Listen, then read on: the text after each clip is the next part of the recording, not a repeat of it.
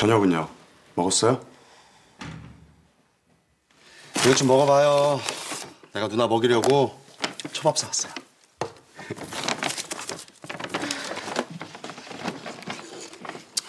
밥을 먹어야지. 새우초밥?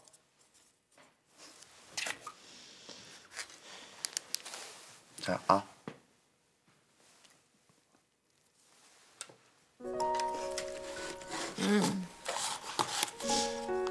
고마워. 맛있다. 많이 먹어요. 왜요? 상황이 이런데도 이게 너무 맛있다는 게 신경질이야. 아니 먹어야 엄마도 찾죠. 우리 엄마 나 때문에 집 나간 걸 거야. 네? 내가 우리 엄마 속 많이 썩였거든. 반대하는 결혼도 하고 영치 떠날 때도 옆에 없었어. 내가 엄마 필요할 때만 찾았지. 정작 엄마가 나 필요할 때는 내가 옆에 없었어.